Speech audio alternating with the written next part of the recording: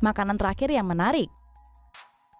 Para ilmuwan telah menemukan isi perut seorang manusia es kuno sebelum ia meninggal. Sea Iceman adalah seorang pemburu yang meninggal di pegunungan Alpen 5300 tahun yang lalu. Tubuh mumi ditemukan di dekat perbatasan Italia-Austria pada tahun 1991. Para peneliti tidak dapat menemukan perut pemburu sampai CT scan mengungkapkan organ itu terselip di bawah tulang rusuk. Sebuah analisis mengungkapkan bahwa setengah isi perut terdiri dari lemak dan daging kambing alpin. Mereka juga menemukan daging rusa mentah, biji gandum utuh, dan jejak pakis-pakis beracun. Pakis beracun mungkin telah tertelan secara tidak sengaja, atau mungkin sebagai obat untuk parasit cacing-cacing yang sebelumnya ditemukan di ususnya.